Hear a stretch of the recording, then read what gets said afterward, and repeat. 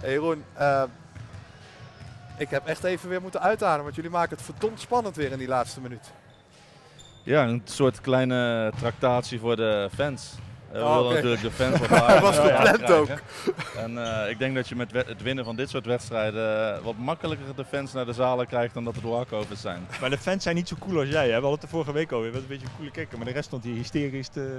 Ja, maar daar zijn fans ook een beetje voor. En ik vond, ik vond het leuk, ook vooral dat groepje wat daarachter zat.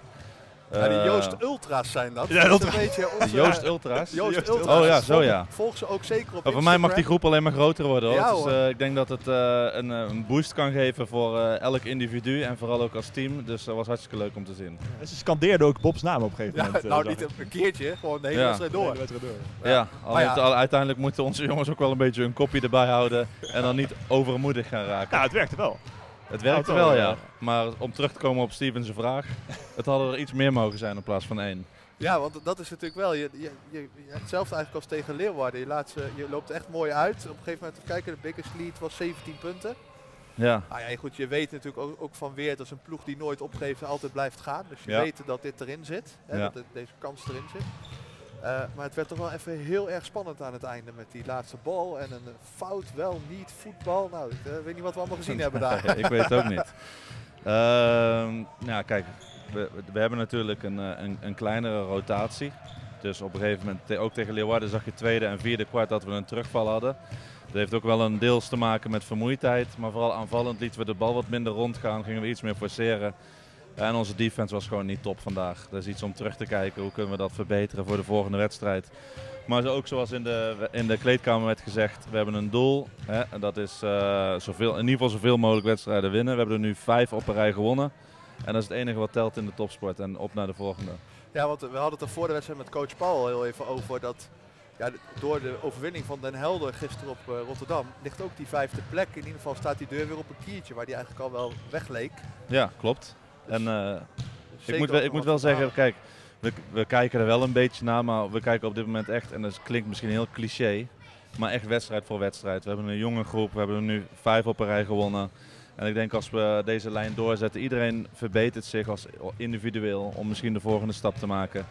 En eh, daar kijken we op dit moment meer naar dan op welke plek we komen na de volgende vier wedstrijden. Hey, ehm, ja goed, we kunnen één persoon natuurlijk niet onopgemerkt laten en dat is Dwayne Wilson vanavond. Ja, Had een heel belangrijk aandeel in deze overwinning. Ehm, natuurlijk is het dan heel goed om te kijken naar zijn nummers. hè, 36 punten, 5 assists, 4 steals en een schotpercentage van 65%. ja. Maar vooral ook, volgens mij was dat ook de opdracht om Sander Hollanders uit de wedstrijd te houden. ja. Maar dat heeft hij toch denk ik nog voortreffelijker gedaan dan 36 punten scoren. Ik denk dat dat een. eh, daar ook wel als, individueel met eh Dwayne over. En de coach heeft het daar ook veel met Dwayne over. Als hij de vervolgstap wil maken, zal hij zich ook moeten verbeteren op dat gebied. Iedereen weet dat hij kan scoren. En ik denk dat hij dat eh, inderdaad fantastisch heeft gedaan. En eh, ik denk dat we hem één drie punten hebben gegeven. En er zat een beetje vermoeidheid bij. Maar hij heeft ook bijna geen schot losgekregen. Hij heeft de bal bijna niet gekregen. Ik Hm? denk de eerste helft dat hij misschien drie keer de bal heeft In de eerste helft heeft hij drie schoten genomen. Ja, 2 op 7. 0 op is 1, niet, 0 eh, op 2 had hij volgens ja. mij in de eerste helft. En eh, nee, inderdaad, dikke pluim voor uh, Dwayne hoe hij dat eh, heeft gedaan. Dat hij het gameplan ook goed heeft gevolgd. Wat was nou voor jou nog meer een sleutel voor deze overwinning? Ehm, een sleutel voor deze overwinning. Ja, op dit moment zit ik meer te denken wat had er allemaal beter gemoeten. Ehm, Nesta Agassi was weer erg goed. Verdedigend, een paar belangrijke bloks. Ja, ook blok goed aan het diven op die dunk van Mitchell inderdaad.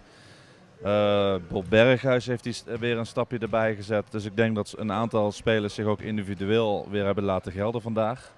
We hadden ook een paar spelers die wat minder in de wedstrijd zaten. Ja, dat zag je ook bij een paar knullige turnovers.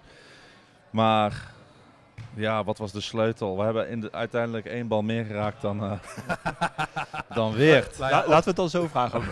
waarom loop je in de eerste helft heel ver weg? En waarom komen ze in de tweede helft zo, ver, di- zo dichtbij? Ja, ik denk sowieso dat we die twee Amerikanen van Weert veel te veel vertrouwen hebben gegeven door ze wat makkelijk te laten scoren in de eerste helft. En dan zie je dat ze op een gegeven moment wat moeilijke ballen gaan scoren in de tweede helft. Daarnaast hebben een aantal spelers van Weert een, een aantal driepunters gescoord, open of niet. die normaal gesproken niet echt kijken voor de drie punters. Het is ook jullie gameplan. Dat was, was inderdaad onderdeel van het gameplan. Maar ook onderdeel van het gameplan was Mitchell niet naar rechts sturen en Hudson niet naar links sturen. En die hebben samen 52 punten gescoord op die manier. Ehm, dus er zijn inderdaad heel veel dingen die nog beter moeten. Maar zoals ik al zei, ja, we winnen. We zijn een stap dichter bij onze, onze doelstelling. En eh, op naar de volgende. Laatste vraag dan Jeroen. Het lijkt ook wel alsof het team nu ook echt... ehm, nou, ze hebben altijd wel plezier natuurlijk, want anders hou je dit topsportleven niet vol hè, als je geen plezier erin hebt. Maar ik merk wel echt, die chemistry jongen, die is echt sky high gegaan. Die wordt beter. Hè? Dat, dat, eh, ik denk dat hij alleen maar meer kan worden nu dat de fans naar het publiek komen. Omdat uiteindelijk als topsporter, hè, kan, ik weet het een beetje van toen ik zelf speelde, doe je het ook wel een klein beetje voor de fans. Hè? Ondanks dat je je eigen persoonlijke glorie eh, natuurlijk ook, eh, vooral in het mannenwereldje, vrij belangrijk is. Maar ook voor de fans. En eh, ja, de- echt waar, ze trainen ook goed. Ze groeien met elkaar op. Ze trekken wat meer met elkaar op. En eh, inderdaad, als je kijkt naar twee maanden, drie maanden geleden, is dat echt een ommekeer. Ja. En dat zie je ook terug op het veld.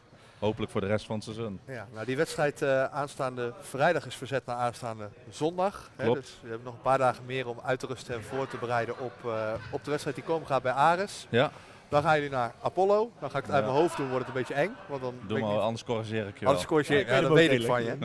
Ehm, en daarna spelen we volgens mij hier op donderdag thuis tegen Zwolle. Leiden. Leiden, ja. Ik geef je die ene seconde om jezelf te corrigeren. Leiden, ja. Inderdaad, en dan eh, twee dagen later spelen we thuis tegen Zwolle. En, eh, Drie pittige dagen. eh. dat worden hele pittige dagen, maar ik denk dat die twee wedstrijden die nu gaan komen, die zijn belangrijker dan de laatste twee. En als we die wedstrijd tegen Amsterdam winnen en die wedstrijd tegen Leeuwarden winnen, dan heb je minimaal die zesde plek. En dan eh, gaat het waarschijnlijk om de laatste wedstrijd tegen Zwolle aankomen. Eh, of dat je misschien die kans maakt op die vijfde plek. Maar eh, laten we ons eerst focussen inderdaad Focus op de Ares. herstel van deze wedstrijd. Beter worden als team. En dan een paar dagen voordat we tegen Ares spelen op Ares. Op naar het mooie noorden. Dankjewel Jeroen. En geniet Nou. nog van je zondagavond. Ik ben, ik ben meer van het zuiden. Ja, dankjewel.